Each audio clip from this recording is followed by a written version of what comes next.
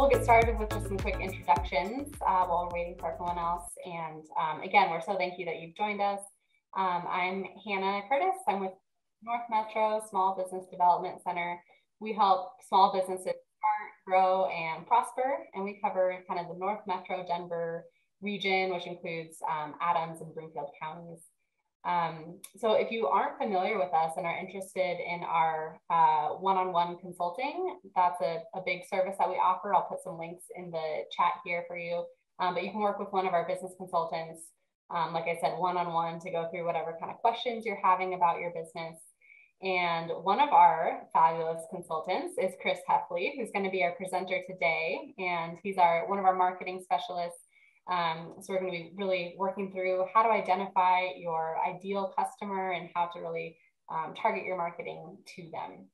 So um, this session is being recorded and I'll send out a uh, copy of the recording um, either later this afternoon or tomorrow with Kris's slides as well. So you can refer back to any information that we covered today um, and we also want this to be interactive, so feel free to uh, put any questions you have into the chat and we can get to some of those, um, you know, either as we're going or, or at the end, I'm sure we'll have some time for Q&A as well. Um, so with that, Kris, I will turn it over to you. Thank you, Hannah. Good afternoon, everyone. I can see some of your faces. Some of your faces I cannot see. Um, I use um, this Zoom stuff all the time in my college classes, and I have for about a year and a half. And basically, I, I still don't like it. But anyway, it's something we have to do. All right, I'm going to start sharing my slides and we'll go from there. Let's see if I can find them. There we go. All right, um, just before we start, and this is not a political statement, but I would like everyone to take a moment of silence um, for the people in Ukraine.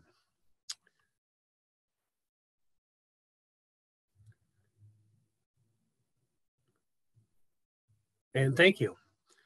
Okay, we're going to talk about identifying your target market. There's no silver bullet in doing this. It takes some research, it takes some patience, it takes just like everything else with marketing, there's no silver bullet. You have to try things. You have to experiment. You have to do your due diligence. So, just by way of background, I've been uh, with the SBDC for 11 years, uh, some of which is in the North Metro office, some of which is downtown. Um, I've had over about 300 clients. Uh, I have a company called the Present Futures Group, which does marketing research and marketing consultation. I was an associate professor for 19 years at Johnson Wales University, and unfortunately, they shut down the campus in May of 2021. And now I'm affiliate professor of marketing at Regis, which I really enjoy. All right, any questions so far? Do I know what I'm doing? Probably not, but I've done a lot of customer profiling uh, and that kind of business for a long time, and I really enjoy it and I try to help companies figure out how to do that. Okay, um, today we're going to talk about different methods of segmenting a market. We're going to talk about uh, whether a segment is attractive and worth pursuing. Uh, we're going to talk about the difference between various marketing strategies, undifferentiated, differentiated, concentrated, and micro marketing, sometimes referred to as niche marketing. Uh, we're going to talk about a value proposition, which I'm sure a lot of you didn't expect us to talk about that today, but that sort of comes after the segmentation and after the targeting and how are you going to communicate to these segments and or targets about what's the great thing about what you're selling, what you're doing. And then we're going to define positioning. All right, segmentation starts with establish a strategy, and it's called a marketing objective in marketing terms. It's a strategy that is who's your target market, what are you selling, how are you positioned, uh, what are your marketing objectives, are they realistic? Uh, and there's a way to actually do that, um, which is called SMART. I'm not sure any of you have heard of SMART. SMART objectives, which means they need to be specific, they need to be measurable, they need to be attainable. You can, they need obviously to be realistic and they need to be time sensitive. Let me give you a very basic example. Uh, you are going to increase sales in your company by 3% in 2022. That meets all the criteria of a SMART objective. Okay. Now, if you said, oh, we're going to increase our awareness in 2022, well, that's not measurable. You can measure awareness, by the way. Uh, usually you have to use a survey instrument to do that, but you can measure awareness. And if your awareness level is 65%, in other words, 65% of a representative sample knows who you are, you can increase that awareness by 5%, 10%. So when I was at Johnson Wales, we actually did an awareness survey. Um, and our awareness in the Denver metropolitan area was about 65%, which is not very good, by the way.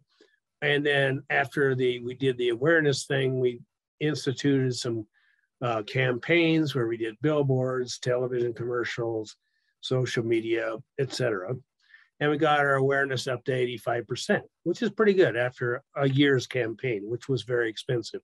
And most of your businesses are small enough, you're not going to do that sort of thing. Um, but awareness is something you should talk about and hopefully get some awareness and measure it once in a while. But primarily, when we talk about objectives, we're talking about sales objectives, marketing object, objective, uh, objectives. And if you're thinking about, well, say you've been in business for 10 years and you want to measure customer satisfaction, that's a good thing to measure. Or customer retention, you can measure that. How long do you keep customers? How happy are they? That sort of thing. Okay, so then you go into using segmentation methods, and we'll talk a lot about that. And we'll look at evaluating under the targeting thing, we're going to look at evaluating the segment and whether it's attractive, and then selecting a target market after you've done all this evaluation and making sure you're on track. And then we're going to talk about positioning after that. Everyone know what positioning really means? It does not mean uh, where your product is on the shelf of a grocery store. And a lot of my students, when I say positioning, they go, oh, that's where they put the cereal at the bottom for the kids. No, that's not positioning. Positioning is how you want the world to see your business or your products or your brand and how they uh, see your brand compared to the competition. And a very easy way of looking at positioning is a look at the difference between this watch of mine, which is a, a fossil, and a Rolex watch. They're positioned totally different. Uh, Rolex is a luxury item. It appeals to very uh, affluent people. It's advertised by uh, very rich uh, people and very rich athletes like Tiger Woods and Roger Federer and Phil Mickelson. And a fossil watch, I don't even think they have ambassadors. They don't have people representing their brand their brand is fairly cheap. It's for me, it's a great brand. It works for me, and that's why I buy it. So when you think about positioning, you have to think about who you're comparing yourself to. We'll talk a lot about that later. All right, so everyone know what a SWOT is. If you were to do a marketing plan, you're going to develop a marketing plan. One of the steps in the marketing plan is to look at your strengths, your weaknesses, the opportunities and threats that are out there. Strengths and weaknesses uh, are internal to your company. Opportunities and threats are external to your company. So a strength might be, oh, I've been in business for 15 years and I've been successful and I'm making money. Okay, great. A weakness might be people don't know who I am. I don't make any money. I need money for marketing. That's a weakness. Uh, opportunity is it's a huge market out there. Uh, and I have a lot of opportunities. I need to focus on them. And that's part of looking at your marketing objectives is looking at those opportunities. And then the threats obviously are, you know, the weather, COVID, competition, regulation, taxes, all those things that we all have to deal with. Okay, so here's a segmentation method called geographic. And then there's demographic, and then there's psychographic, and there's benefit segmentation and behavioral segmentation. Geographic is fairly simple. Uh, are you gonna, if you are a national company, you might want to segment some of your market by regions of the United States, like the Atlantic region, the Southern region, the Western region, the Rocky Mountain region. So uh, quite a few years ago, I did a set of focus groups for Pepsi. and we did focus groups in Wyoming, Salt Lake City, um, Billings, Montana, and two cities in Idaho. Why in the world would we go to those places? Well, they wanted to see whether there's a difference between uh, Pepsi uh, consumers in the Mountain West uh, compared to the South and the East and that sort of stuff. So, based upon that research, they actually developed, excuse me, um, a marketing campaign using advertising for Pepsi products just in the Rocky Mountain region. What makes the Rocky Mountain region unique? What do we do in the Rocky Mountain region that's different than the South? Do we have NASCAR races? No. Uh, do we have bass fishing? Eh, maybe if you go to Nebraska. Uh, do you have trout fishing? Of course. Do you have camping in the mountains? Yes. Do people play softball in the summer? Yes. Do people ski and snowboard? Yes. So we've identified some attributes of consumers in the Rocky Mountain states, and they developed a marketing campaign based upon that. All right, uh, demographic is always about age, gender, income, education. And I like to add occupation and sometimes social status, social economic status. That's indicator is not very good, but depending on what you're selling, it might be good. All right, lifestyle is about your values. What's important to you? What do you do with your spare time? What are your interests? That's what psychographics are about. Benefits segmentation is a lot about what happens in the grocery store. Why do you buy Tide instead of Gain? Why do you buy Crest instead of Colgate? You know, what is the benefit of those products? In certain cases, it's about money, so it doesn't cost so much. In certain cases, it's about prestige, like Rolex watches. In other cases, it's like I only buy the store brand because it's cheaper and it's just as good as the name brand. Okay. And then behavioral is when you actually buy something and do you have some kind of brand loyalty? Question so far? No. Okay. So this is the geographic segmentation. The interesting part about this is you can segment a market by neighborhoods and zip codes. And that's an important thing to be able to do if you're a small business. So you want to focus, let's say, on a zip code or a neighborhood like Arvada, Colorado, and zip codes in Arvada, Colorado. You can actually get information from the census, uh, which is, we'll talk about that more, but the Census Bureau does have all kinds of information, geographic information by zip code and neighborhoods. So I can look at Denver County and I can look at five zip codes in Denver County. And I can look at their demographics. So I combine a geographic with a demographic segmentation. Okay, um, especially when you're trying to find customers in a zip code, an area of town that you operate in, that's very important. If you're selling a product on the internet, that may not be as important as some of the other segmentation set strategies. Okay, demographic is the most common strategy. It's easy to measure age, gender, income, education. And I put some resources down here. The government, local economic development offices actually have some demographic information about their communities.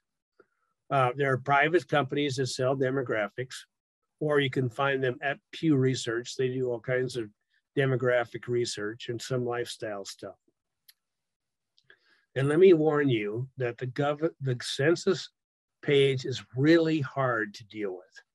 So don't get frustrated when you start looking at uh, and just give yourself some time. And sometimes if you go to a library, they might be able to help you with that. Uh, the library also has other resources in terms of psychographic stuff, but we'll talk about that. Do I need to look at this chat thing? Um, no, I'm keeping an eye on that. We haven't really had any questions come in yet, Okay. but you know, when we All right. I always get distracted and don't even look at that, so. All right, um, let's see, what's wrong here? Uh, Okay. It's not working. There we go. Let me make sure about this one. We, I didn't lose something. Okay, psychographic segmentation. Lifestyles, very important. What do you think about? What's important? Or what are your values? What are you interested in? What do you do in your spare time? Okay. And if let's say you are a do it yourself kind of person, all right, um, that's very important as a marketer to know people that they do things for themselves and they build things or they fix their own hair or they mow their own lawn or whatever. And what about their self concept? So there's various VALS is a um, it's called a profiling system. Okay. And if you Google VALS, you'll get this strategic business insights thing. And their VALS basically has eight, seven or eight different profiles of people. Now, some of them might be useful, like if you're giving, uh, if you're, if you're giving uh, piano lessons, because it might help you see, oh wait, this is the kind of person I need as my target market. Somebody who likes music, okay, somebody that reads books, somebody that goes to the theater, okay. So I always show this to my students, this VALS thing, and I show them that one of the profiles they call is called a thinker. I'm exactly like a thinker in the VALS profile. And if you look at VALS and you find the thinker, that's me. Okay, I like to do research. I like to read books. I like to go to the theater. No, I don't like to go to the theater. I like to go to the movie theater. Um, so it gives you an idea about different lifestyles. Claritas is a different kind of thing. And in Claritas, if you go to their website, you can put in a zip code, like I always use my home zip code, and which is 80601, which is Brighton, Colorado. And it gives me all these different profiles of the kind of people that live in Brighton, Colorado.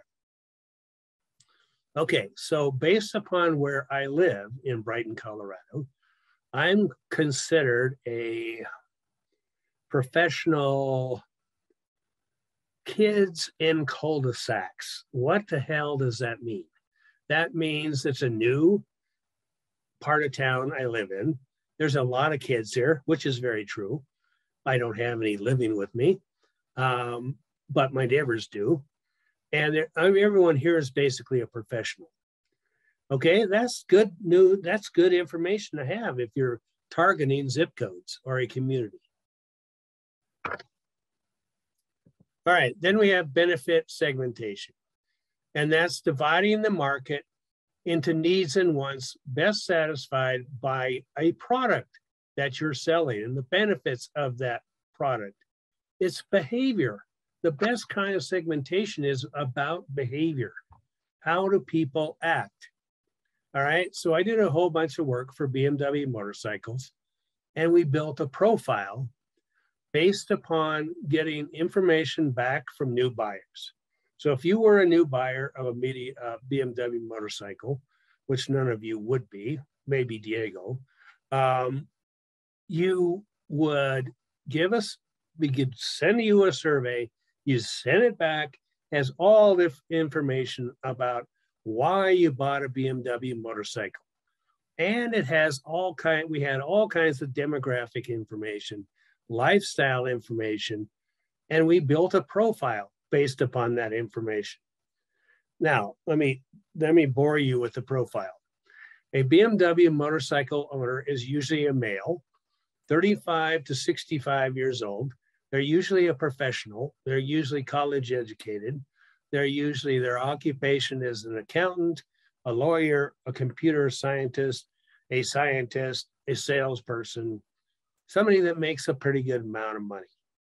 Why did they buy a BMW motorcycle? Because they were looking for performance, they were looking for low maintenance, they were looking for a product that would last a long time, unlike some motorcycles. They were looking at comfort because they use the motorcycle in the summer and drive like 300,000 miles or some crazy thing like that across uh, Alaska or across Canada or some crazy thing like that. And the company has a lot of models that are different and they function differently. And that was a benefit to them. Okay, behavioral segmentation. Uh, the thing I did for BMW is a combination of behavioral, demographic, lifestyle, benefit segmentation, uh, that sort of thing. Behavioral is a lot what happens in the grocery store. You go in, they scan your products you're going to buy, they keep it in a database, they analyze the database and do all kinds of sales analysis and you know they'll send you coupons or send you something in a newspaper or immediately send you a coupon right there at the stand at the checkout stand all right and then in terms of loyalty airlines and hotels are very good at this also companies like starbucks all right mcdonald's on the other hand you can get an app at mcdonald's and sure they care about oh yeah this guy always buys a big mac okay, so they might give you a coupon for a Big Mac, but they don't really do behavioral segmentation. They segment demographically at McDonald's. Like here's a family, here's a, a kid, here's a teenager, here's a uh, what we call a heavy user at McDonald's is somebody who's 15 to 25. When they go to McDonald's, they spend $15. I never spend $15 at McDonald's you know, they buy a Big Mac, they buy big fries, they buy a big shake, and then they might buy a dessert. Uh, and that's a heavy user of McDonald's. That's their loyal customer. All right, so um, here's which is this is called Tapestry is another one of these database companies that uh, classifies uh, consumers, and this one is geographic demographic, and psychographic or lifestyles. Now, this is very complicated. So you have to have a guide to look at this, like metro cities, one, metro cities, suburban periphery, two. That's where I live in Brighton. Metro cities, two means it's a smaller metro city. Okay, so it's a city like Colorado Springs, not Denver. But you have to have a, you know, a code to figure out all this stuff but it does have a combination of, uh, let's say that you're looking at this metro city one, which would be a big city. There's 25 major markets in the United States, and Denver is low on the list, but it is one of those. And so you look at the household type, married couple families, average age, median age, excuse me, 45, income high, employment. They're a professional, they're in management, education. They have a bachelor's degree or a, a graduate degree. They own a house that's single family. They participate in civic activities, which means they vote. They're on the school board or something like that. They own stocks worth $75,000 plus. They take a, a vacation, not necessarily overseas, but sometimes overseas um, they listen to classical music, they listen to news, they watch public television, and they own or lease a luxury car. Okay, that gives you a lot of information if you're selling those kind of products. If you're selling books, this information would be useful to you. If you're selling a lawn mowing service, this information uh, actually might be useful to you also, but only if you could get it down to a zip code. Okay, which is what Claritas did does. All right, does that make sense? Very, it's very complicated. You need a, a guide to read it and understand it, but it's kind of interesting. Okay, so up here it talks about the segment is the O1 top rung segment. This segment is the inner city tenants, some of which rent, some of which own, but they're totally different than this segment. Questions? Okay. All right. So how do you evaluate a segment? Well, first you have to do all this research to figure out uh, the demographics and the psychographics, and then maybe the buying behavior. In, in most small businesses, you're not going to do all this stuff. um, if you're building houses, is probably important. If you're a home builder, or if you're leasing offices, you probably need to do a lot of research. Okay. So when you're looking at, uh, sorry, I just want to make sure I don't blabber until we're done. Um, if we're going to look at segments and how attractive they are, we're going to look at whether it's substantial. Can you make any money with this segment?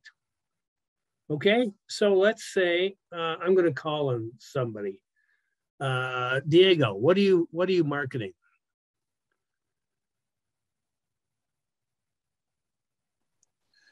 Uh, well, actually, I'm one of the consultants. oh, you're a consultant? Yeah. Okay. What do you consult on? Uh, marketing as well. I'm, I'm, I'm, one of the consultants of North Metro SBDC as well. So that's why I'm, okay. I'm smiling. All right. Uh, Alicia, did I say that right? Hi, yes, I pronounce it Alicia. Thank you.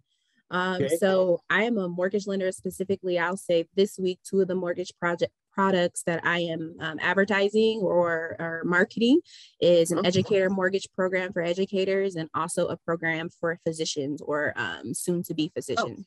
Oh, okay, that's good. That's a good example. So when you target your segments, obviously you're talking about educators, right? Are you talking about new home buyers, existing home buyers? Uh, are you talking about people that have been in education for a while? Do they have families? The demographic stuff.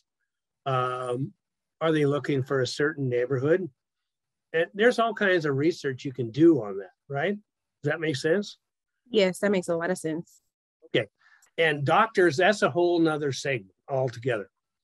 Uh, are they new doctors? Are they existing doctors? You know, doctors kind of stay in their homes for a long time, I've noticed. Uh, if they're if they're 50 years old or older, they're kind of hanging around in the same neighborhood all the time. Uh, if they move, they're going to move something basically totally different than what a city they're already in. Uh, but you could find some information on that. Okay. Um, so you're thinking about is this market substantial? If it's educators, yes, the market's substantial, right? Can you reach them? Ah, now that's a that's a little more difficult. Let's say education people and doctors. Okay, you're not going to go into school and do a sales pitch. And in a doctor's office, they get salespeople all the time trying to sell them pills. So they subscribe pills. So trying to get them, it's hard. It's somehow re- it's the reachable part's a little more difficult. And in that case, you might have to use email. You might use direct mail. You might have to do uh, educational seminars, things like that. And so, what do you do?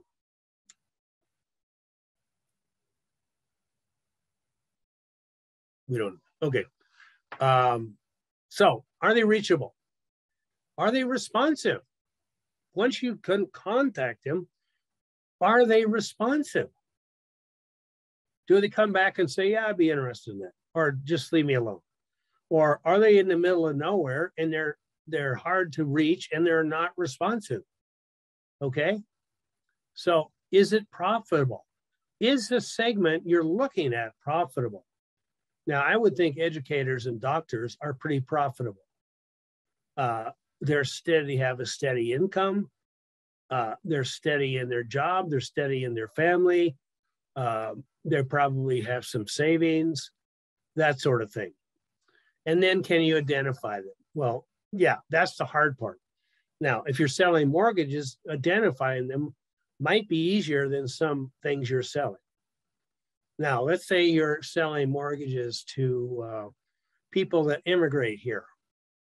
Okay, now that's a different story altogether than doctors and educators. Okay, they're easy to identify. Uh, someone that came here from another country are, is going to be more difficult to identify. them. Does that make sense? Or find them? Yes, my apologies. I was fumbling with this mute button here. Say what? I say yes, it makes sense. My apologies. I, my I'm fumbling with the mute button here. oh, that's okay. All right. So again, who's the market? Are the segments distinct? And does each segment require a unique marketing mix? That means, does each segment require some marketing that you're not going to be able to do? Like going to a trade show, like uh, doing a seminar, like uh, being able to sit in their home one on one. And are you able to do that? How do you reach them in terms of email, uh, social media? Uh, obviously, most of you are not going to use a billboard. First, because it doesn't work for your market, and second, it costs too much. So, what is the marketing mix? The marketing mix means how are you're going to get to them. And depending on what you're selling, how do you distribute that product and what's the price? That's what the marketing mix means. All right, is the market in terms of size and buying power substantial? Obviously, doctors have more buying power than educators. Okay. Uh, is the segment too small? In this case, no, it's not too small. Uh, both of those segments you identified are pretty big. And even though it's a big market, is their buying power significant? Okay. Teachers, I think the buying power is pretty significant. All right, the consumer must know the product exists. Okay, that means reachable. Do they know you're out there? Sure, they know what a mortgage is, but do they know that you're selling mortgages? All right, and let's say you're selling a lawnmower service. Well, do they know that you're even here or even around? Or do you have to depend on word of mouth, which is fine for marketing, but it takes a lot of work? All right. Let's say you're selling clothes and you have a location specific place. Do enough people in that location, excuse me, know you're there? All right. Um, does do they understand what the product is or what the service is? And do they recognize how to buy it? That's called a response mechanism do you have a website where they can respond and actually uh, figure out how to find you, how to get to you? All right. Um, customers must react in a similar way and positively to your offering, what you're selling. Okay. If the firm cannot provide products and service to that segment, it should not be targeted. All right. If you cannot provide mortgages to, to people that speak Spanish or people that speak Chinese, then you shouldn't be targeting them. All right. So, a long, long time ago, I worked for an advertising agency and we were selling HUD homes. HUD homes are foreclosed homes. So, if you have an FHA loan and you don't pay your mortgage, the FHA comes after you and forecloses on your home. So we were selling those homes all over the United States. And we decided one of our target markets were people that spoke Spanish, people that spoke Chinese, people that spoke Laotian, Vietnamese. And so, uh, because we're looking for first time buyers to buy these houses. um, because they're not luxury homes. You know, they're they're probably not great homes, but they're great for first time buyers. So we had advertising in all of those languages. We had TV advertising in Spanish, in Mandarin, in Laotian, in Vietnamese, etc. Very expensive, but hey, it was the government, so they could pay for it. All right, one of the things to look at is the profitability of that segment. What's the current market growth of that segment? And this can be the growth in Colorado, the growth in Denver, the growth in the United States. The reason why we want to look at market growth is because we want to say, oh, the more the mortgage market, the lawnmower market, whatever it is, grew by 3% last year.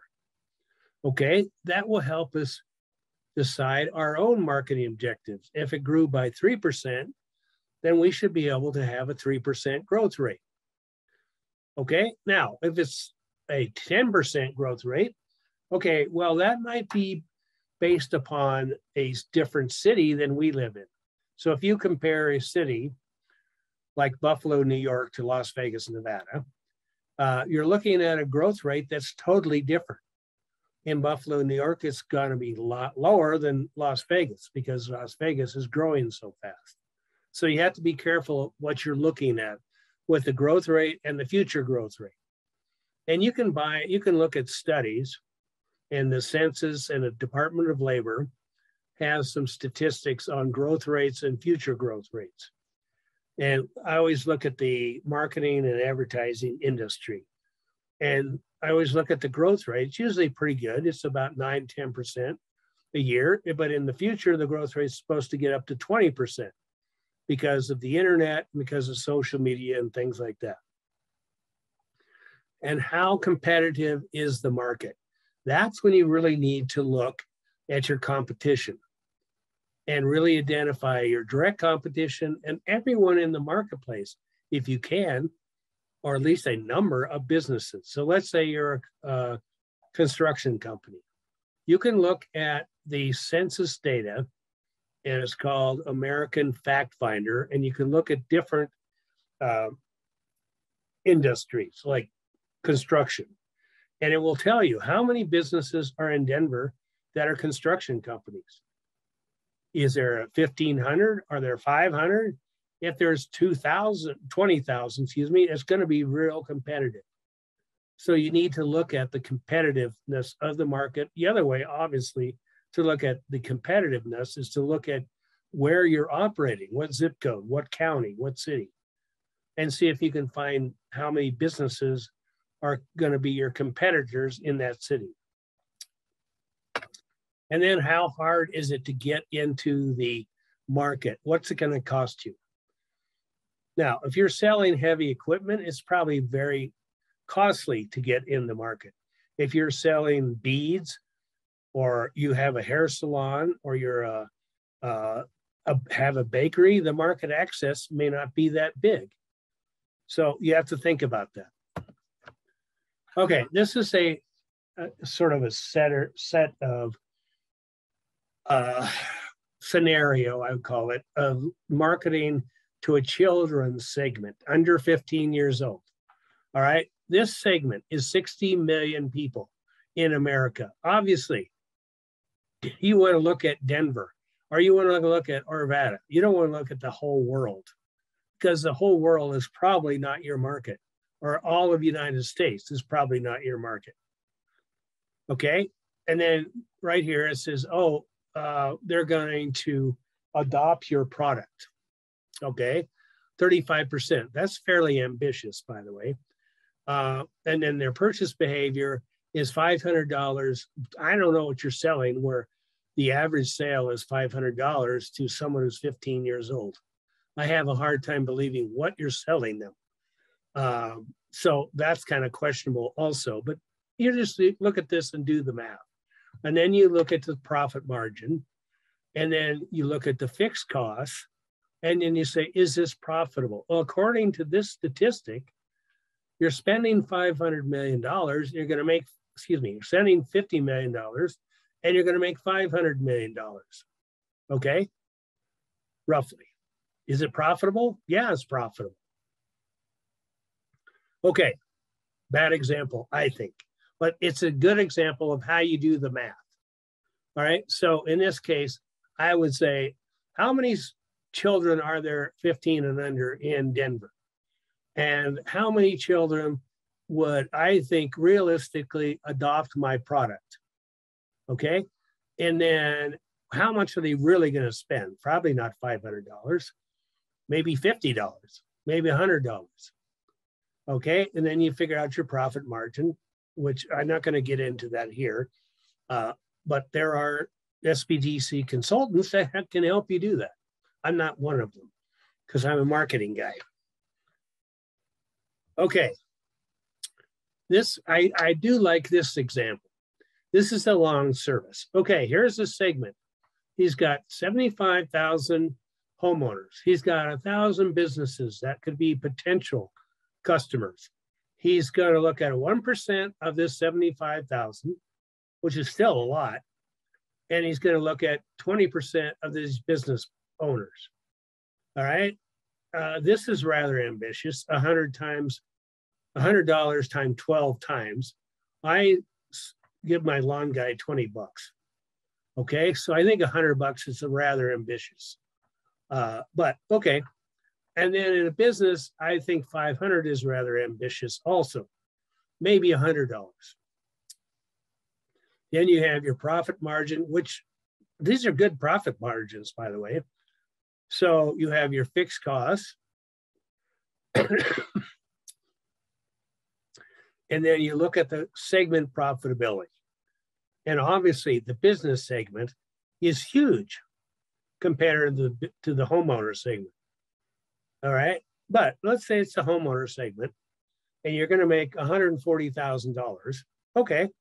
That's good. How can you increase that? That's part of your marketing objectives increase it by 3%, increase it by 5%, whatever it is. Does that make sense? Okay. All right, the key factor in pursuing a target market, you did all this segmentation. You've identified two markets, right? One a business market, one a residential market. And that mar- within that market, you're going to identify some more segments. Okay, and those are going to be your targets. now, when I ask clients in the SBDC, uh, who's your target market? They say everybody. That's not a good answer because you cannot go after everyone in your as your target market. Okay? You might have everyone buy something from you, but your target market has to be very specific, very realistic. You have to know where they are, who they are, and you have to base your objectives on that one target market, not everyone. Okay? So you have to be able to differentiate who they are, and you have to get where are they? And is there a concentration of them? Okay? Now, if you say, I'm just going to go after this group, and this group is homeowners that live in this geographic location, that is differentiated. Okay. If I say, oh, I'm going to just go after this group that lives in Arvada in two zip codes, and I'm only going to look at these two blocks. Okay, that's concentrated if you're going to try to market one on one, or what sometimes is called a niche, that's a little bit tougher, but it's maybe more productive. And when you're selling on the internet, one on one is a lot easier to do than just going out and selling but as a person. Okay, does that make sense? And then you have undifferentiated, and that's the that's the one where you know there's a huge companies can do mass marketing. One individual company has a hard time doing mass marketing. They don't have the financial resources, they don't have the time, they can't use every piece of social media out there. And do billboards and do radio and do television and do print. It's just not possible. A company like AT&T, they spend a billion dollars on marketing. They can do that. Okay? McDonald's can do that. Coca-Cola can do that. Budweiser can do that because they have the resource to do mass marketing. But they typically, like if it's a beer company or a beverage company like Coca Cola, they differentiate by products. That's their segmentation strategy. Right? Does that make sense? So I would stay away from saying, oh, we're going to market to everyone. Everyone. Oh, well, let's see. I have a Burmese restaurant. Are you going to identify, uh, market to every Burmese family in Denver? Well, first off, where are they? Do you know where they are? Well, fine. If you're going to market to all of them, you got to know where they are. Okay. And then using more of a segmentation strategy would make more sense. Does that make sense? Yes, I have a quick question. Would you consider yes. mass Ooh. marketing paying for? Sorry, this is Alicia. Would you consider mass marketing included, including paying for boost on Facebook? Uh, now, okay, that's a good question. You can target on Facebook a lot better than you can with television, let's say. Okay, so uh, boosting a post as long as that post is hitting a very concentrated market, I think you're fine. You're not trying to market to everyone on Facebook. It's not possible. It's too big. Okay. And a lot of people aren't even going to see it. So when you do a post on Facebook, you're selecting a market already, right? Yeah. Yeah. So trying to do everyone on Facebook is virtually impossible. So that's what makes Facebook good is it's it's more concentrated and it's more selective, especially if you advertise on Facebook, you can really target a lot better. Better than you can on Google and some of the rest of them. Nice. Okay, great. Thank you. Does that, does that answer your question? Yes, perfect. I have a first time home buyers event that I, I was questioning if I really wanted to pay for a boost or not. So I think I'm gonna go ahead and move forward doing it. Okay. Yeah, I mean there there are people around that will do social media for you. I don't know. I really haven't come across one that's that's uh, very good. They just charge you money and you can't see the results. So be careful with that if you can see the results and they give you the results, excuse me, um, that would that's better, okay? Because I've seen so many of these marketing schemes where people are handing out coupons at hotels and they're doing social media, but they never tell you what the results are. And until you have Google Analytics or something like that to measure the results, you're not you don't know what's going on. It's a shot in the dark. Okay, I just got done with my lecture part. All right, we're going to talk about positioning.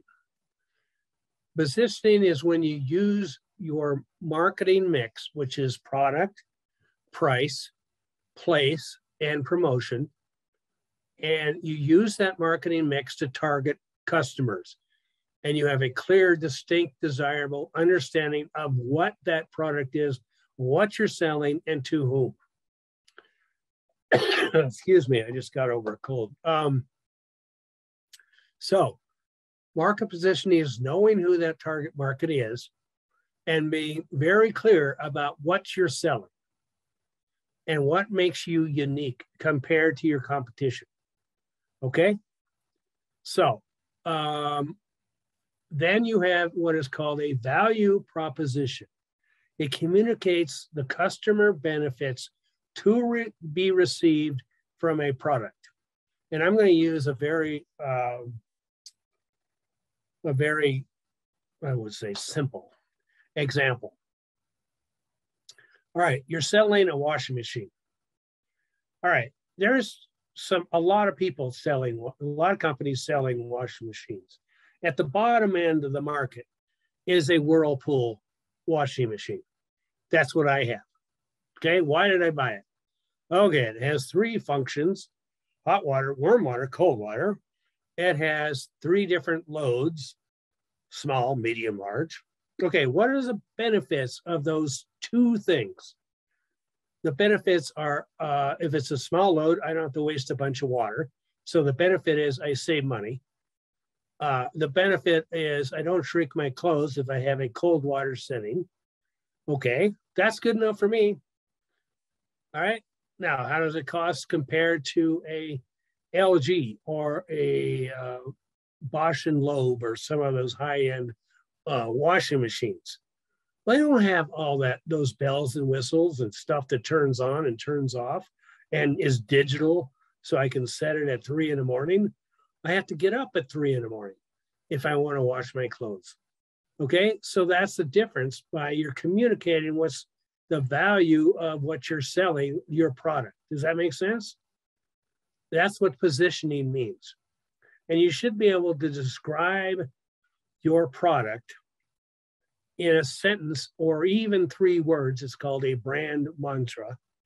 And so let's take a brand like Disney. What is Disney selling? They are selling fun. They are selling family interaction, family fun, and they're ex- selling excitement. That's all they're selling. And they do it various ways.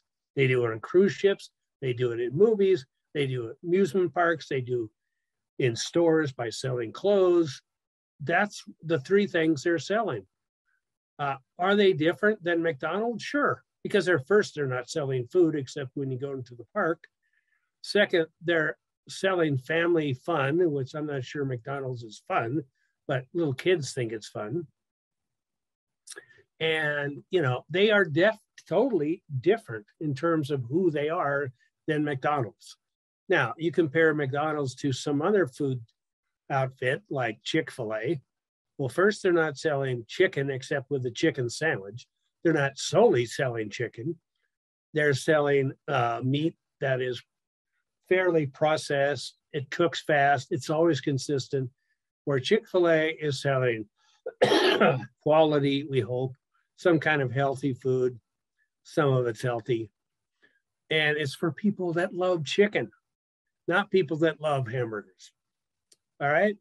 So think about what you're selling and the benefits to the customer and what you makes you different than a competition. Does that make sense? And you should be able to identify that, write that down, and say, okay, this is what makes me different or my company different. Okay? Does that make sense? And by the way, it's not hard, it's not easy to do. Sometimes it's hard. If I had to try to differentiate what I'm selling to my clients compared to what somebody else is selling uh, to their clients, you know, I, I think I'm selling a process that's fairly systematic and formulated. I'm not just selling, oh, I'm going to do some marketing for you. And damn, you're going to make a lot of money. Okay, well, how do you prove that to me? All right. So that's hard to do, but I want you to think about it in terms of what you're selling and what makes you different. Sometimes it's customer service, especially if you're selling a product to a business. Businesses expect more, they like a relationship. They want you to come through with customer service or technical support. Or if your coffee machine breaks down, we'll get you one right out today and we'll fix the other one. You know they're they're worried about a relationship not just a product. Does that make sense? Okay so this is a look at the competitive offering that you're providing. Whoops sorry. The competitive offering you're giving the value proposition you have here what your customer needs and what is your company offering. Those should overlap here. Okay, the compes- what the customer needs and wants should overlap with what you're offering. And your competition should be out of the circle. that makes sense? Yeah, if you can't say, what am I doing for my customer? The customer benefit and what I'm offering, then you got to really look at your business. And it can be very, very minuscule things that are different than your competition. Okay? Uh, let's take a lawn mowing service.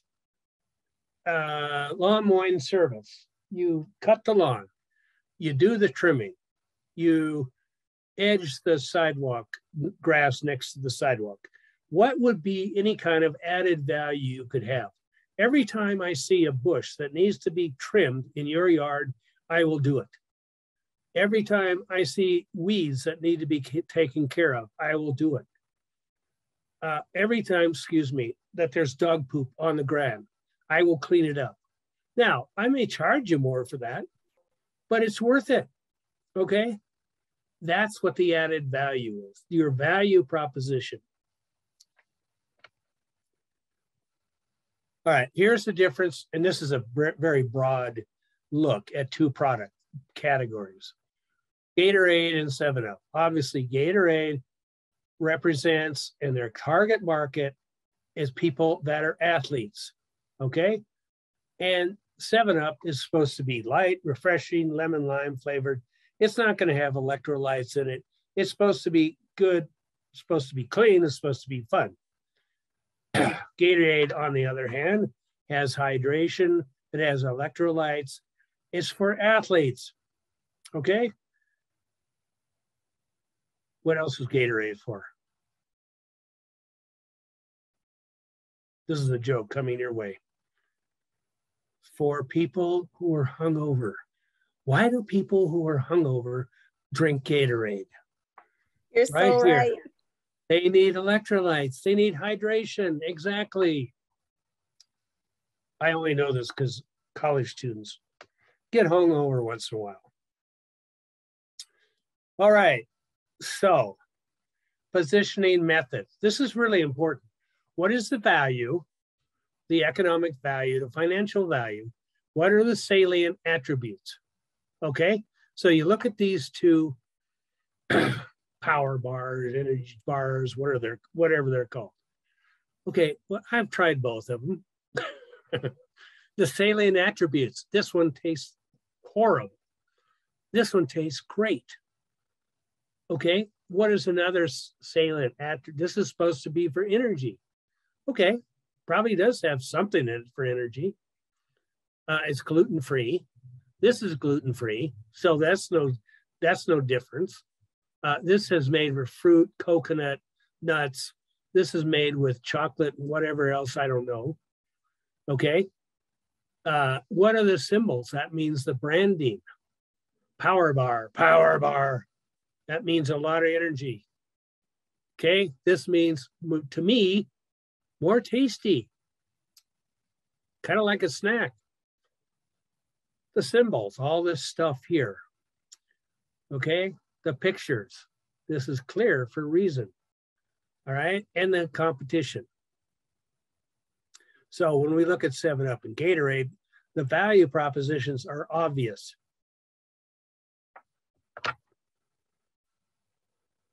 All right, there's a thing called a perceptual map.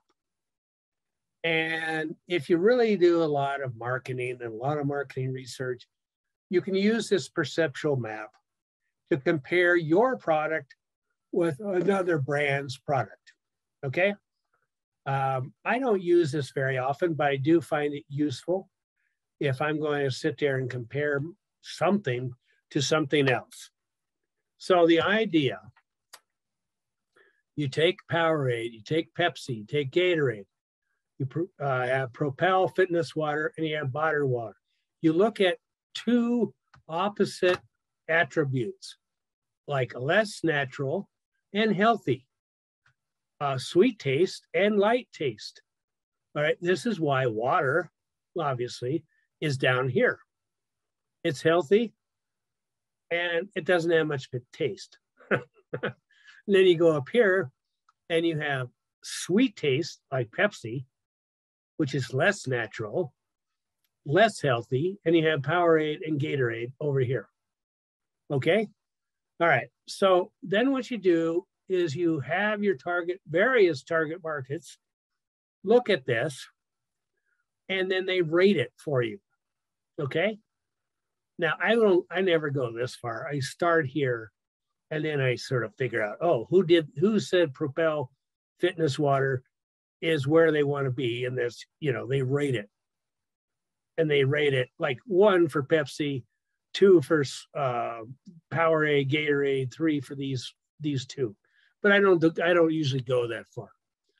Um, and in this case, they're looking at the market size. Obviously, the market size for Pepsi is much larger than the market size for bottled water and healthy water. Okay. That's not, I would not do this. If I was going to do this part for my company, I would pick four, two attributes. Okay. Like great service would be an attribute, and less service would be the other side. And then I would pick price, high price, low price.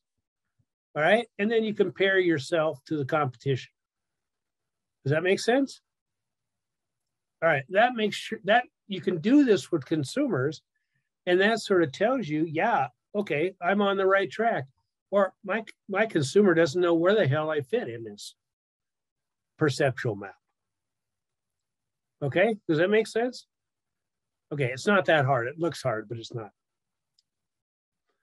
Okay, guess what? It's question time. I'm out of time too. Four minutes over. Well, that was really helpful information. Um, if anyone does have questions, feel free to put them in the chat. Um, and I'll also mention those links that I just put in the chat um, are to schedule an appointment with one of our marketing consultants. And that's a great time also to talk through questions that you might have, especially that are uh, specific to your business and to really dive deep into that. Um, but there were a ton of really great resources in there. And I also wanted to mention, I put in the chat, but just wanted to verbalize it too. Um, we can help at the SBDC, we can help with some of that um, market research for you with um, IBISWorld Reports. Um, so there's a lot of different um, different ways to do some of that research out there. There were some great resources that Kris mentioned. And then there's also the Denver Public Library will, they have um, business librarians who will do a lot of this research for you. And then you can schedule a meeting with them and they will um, walk through their findings um, and kind of, you know, help you understand what that means for you and your business. Um, so tons of great resources out there. One more that I'm going to put in here is uh, just our link to our general scheduling page. Um, if you do need to meet with a consultant other than a marketing consultant, I know Kris mentioned the um, profitability ratio or something that's outside of marketing. We have people that can help us. Yeah, you need to talk to an accounting counselor. yes, yes. Um, yeah, so thank you all for those the comments. It looks like it was helpful for you all, and we'll be following up with the information again so you have access to it. Um, yes, I have one. I have one warning. Yes. If you if you set up an appointment with you with me, I will make you do a marketing plan, which is probably a good idea for most businesses, new businesses. It's uh, a little work. It's a little work, but you can do it. There's a question about the website for the tapestry resource you mentioned. Do you know? Uh, um, I I do not, but I can find it. Okay, and I'll send it to Hannah. Okay, thanks, and I'll include that in the follow up email to everyone. That's fine. It's yeah, I can find it for you. I've never used it, but I like the idea because that's what that Claritas does and the VALS thing. So it's very similar. Awesome. Great. All right. Well, again, all right. Thank you. And thank you, Kris. This was really helpful. And we um, just hope you all have a great afternoon.